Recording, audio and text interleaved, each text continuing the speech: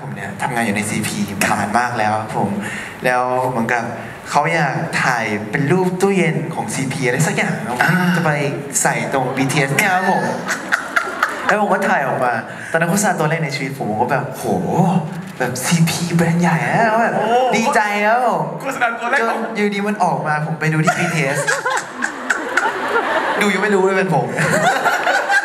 เห็นหน้าด้วยครับผมรอบนี้ได้ถ่ายอีกรอบก็เหมือนแบบเหมือนกลับมาแก้มือครับผมแบบกลับมาแบบอ่ารอบนี้เห็นหน้าเต็มๆไหมอะไรอย่างเงี้ยครับผมนี่คือโฆษณาตัวแรก ตัวแรกในชีวิตครับผมไม่เห็นหน้า ใช่ผมอ๋อแล้วจำได้ตอนนั้นเขาให้เสื้อนี้มาทั้งเซ็ตให้ผมแล้วอ่าใช่ครับแทงค่าตัวผมร้องไห้เนี่ยเราเป็นคนอย่างเงี้ย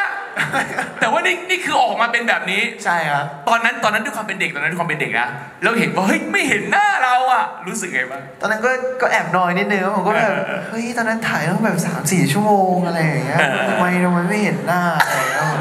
ก็แอบนอยอยู่นิดนึงแต่ว่า ก็ไม่เป็นไรครับผมก็ข้างหลังก็หลอกจากข้างหลังก็ได้ป่ะสันรู้ไหมว่าเป็นแบมแบมไม่รู้ ทุกคนทุก คนต้องตอบว่ารู้ดิ ไม่แต่ว่าตอนนี้เนี่ย